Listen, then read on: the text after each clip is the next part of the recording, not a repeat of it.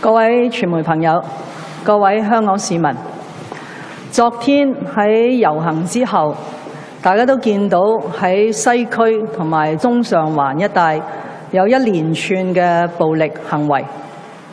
特區政府必須喺呢度強烈譴責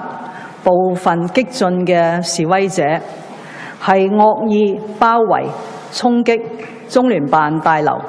而且係污損國徽。公然挑戰國家嘅主權，觸碰一國兩制呢個底線，而且係傷害民族嘅感情，令全城憤慨。特區政府必定會嚴肅跟進，依法嚟到追究。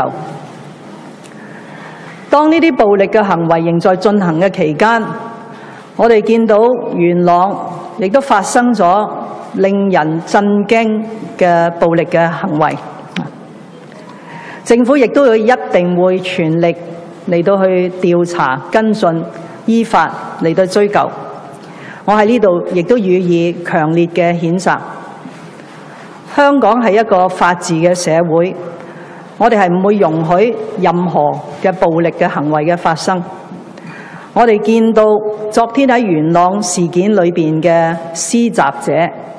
佢哋係目無法紀，肆意咁去傷害市民同埋喺鐵路嘅乘客，行為令人髮指。我哋係絕不容忍、絕不姑息。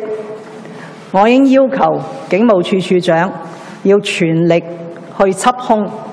讓呢啲兇徒呢係承之於法。對於喺元朗事件裏邊受傷嘅市民，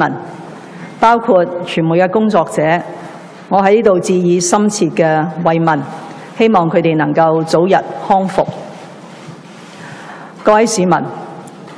暴力係唔能夠解決問題嘅，暴力只會助長更加多嘅暴力，最終受害嘅係香港社會同埋全體嘅市民。所以我喺呢度呼籲社會各界